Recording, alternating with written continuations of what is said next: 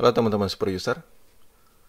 Kali ini saya mau bahas tentang bagaimana cara menggunakan kamera ponsel Android menjadi sebuah webcam di Ubuntu 20.04.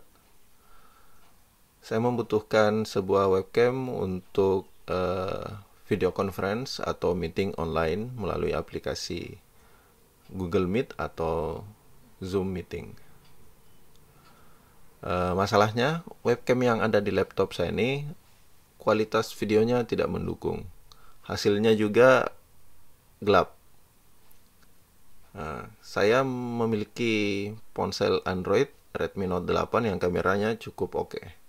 Uh, terpikir bahwa uh, apakah bisa memakai kamera ponsel Android menjadi sebuah webcam. Jadi tidak perlu beli lagi karena setelah saya cek lumayan juga harganya.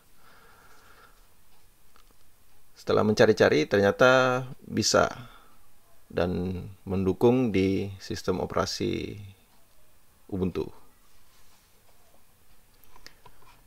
Baik kita ke konfigurasi.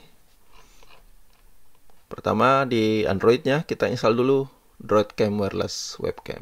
Ini nama aplikasinya yang kita install. Oke, ini developernya Dev47 Apps kita install di Android. Aplikasi ini bisa menghubungkan kamera ponsel Android melalui jaringan wireless atau kabel USB. Saya sendiri memakai kabel USB karena lebih stabil. Kalau pakai jaringan wireless ini putus-putus dia uh, kameranya. Untuk kabel USB, kita aktifkan dulu developer option lalu aktifkan opsi USB debugging. Caranya, yang belum pernah mengaktifkan fitur ini, kita masuk ke setting, about phone, dan di Android version ini kita tap 7 kali. Akan setelah itu akan diaktifkan uh, developer option. Di Redmi Note ini uh, untuk developer optionnya masuk di additional setting paling bawah developer option. Lalu kita cari USB debugging. Lalu kita aktifkan. Kalau sudah persiapan di ponsel Android sudah siap, konfigurasi dan aplikasinya. Sekarang di Ubuntu-nya kita install dulu GCC Mac.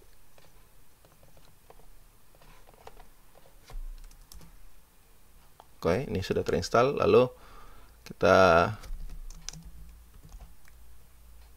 download uh, file Droidcam client untuk Linux. Kita download pakai widget. Oke, lalu kita unzip dan masukkan di folder Droidcam. Oke. Setelah itu kita masuk ke folder Droidcam, kita jalankan sudo slash install. Ini saya sudah install drivernya. Nah, jadi saya cancel saja. Kalau belum ini akan terus dilanjutkan. Untuk memverifikasinya, kita jalankan ls mode dan cari modul driver droidcam-nya. Nah, ini sudah terpasang. Kemudian kita bisa mengatur konfig, uh, resolusi kameranya. Di sini, ini file konfigurasinya. Yang kita ubah width dan height-nya. Yang tersedia ini standarnya seperti ini. Uh, supaya ngefek biasanya harus uh, restart Ubuntu-nya.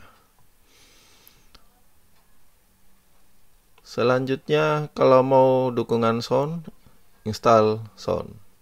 Tapi saya tidak menjalankan ini, saya pakai sound uh, mic dari earphone. Saya jadi saya punya uh, earphone untuk itu. Saya hanya membutuhkan tampilan kameranya saja, videonya. Selanjutnya kita buat shortcut untuk aplikasi Droidcam-nya. Kita jalankan. Ini membuat file baru dengan uh, Nano. Nah, ini tinggal kopas, ini copy dan paste ke sini. Untuk save-nya itu Ctrl O. Oke, lalu kita keluar Ctrl X.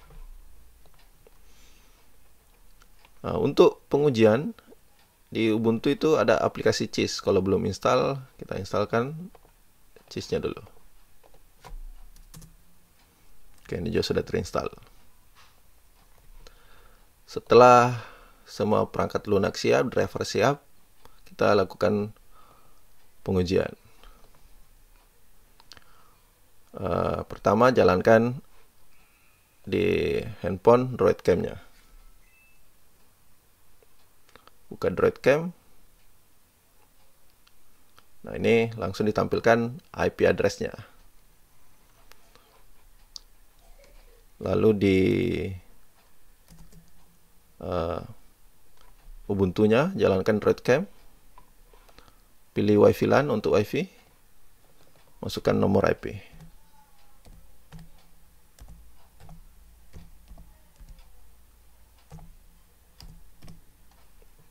Connect. Oke, ini sudah connect. Untuk mengujinya lagi, jalankan cheese. Oke. Ini udah connect nih. Oke. Kalau kita lihat di sini, preference, ada Droid Cam.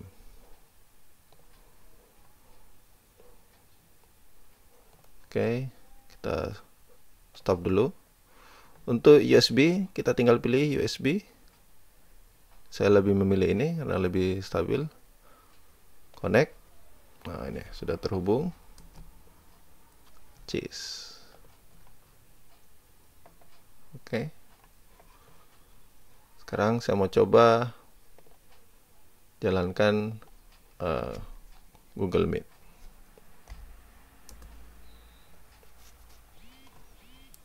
apakah terdeteksi atau hanya di cheese saja.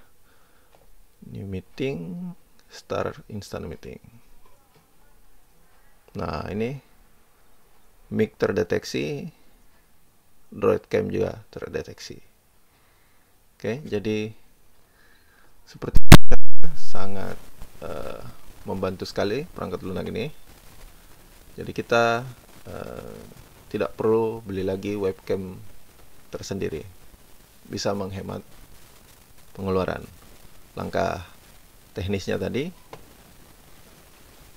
uh, install dulu Droidcam di Android, aktifkan USB debugging, uh, developer option, USB debugging. Uh, di Ubuntu-nya kita install GCC Mac, install Droidcam client untuk Linux, jalankan instalasi sudah, ini ada opsi konfigurasi resolusi. Buat shortcut untuk pengujian bisa pakai Cheese atau mau langsung pakai Google Meet atau Zoom bisa. Tapi ini pengujian awal. Kemudian untuk menjalankan, jalankan dulu aplikasi Droidcam di Android. Uh, disarankan pakai USB. Lalu tinggal menjalankan uh, Droidcam client di uh, Ubuntu. Pilih yang mana. Ini WiFi dan USB. Lalu kita uji. Jadi uh, dengan kamera Android ini, apalagi kalau kameranya bagus, itu hasilnya bisa jauh lebih baik. Bisa mendukung atau memperlancar meeting online yang harus menampilkan uh, wajah. Kira-kira seperti itu. Sekian, selamat mencoba.